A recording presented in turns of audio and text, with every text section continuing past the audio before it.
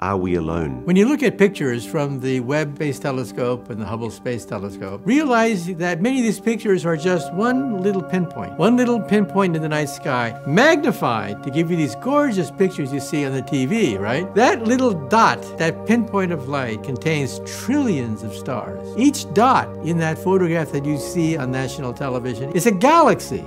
That's a hundred billion stars in each dot. What we're talking about is a photograph, trillions of stars. Think about that for a moment. The probability that we're the only game in town is a fraction, the inverse of trillions. And so you begin to realize that of course they're out there. Of course. Why should we be special? For example, look at what we're made out of. We're made out of proteins and amino acids. We find them in the heart of meteors. We find amino acids in gas clouds, nebula, thousands of light years from planet Earth. We see the ingredients of life, the amino acids, everywhere we look in the universe. So if I ask, are we alone? What do you say? My attitude is, of course, what took you so long?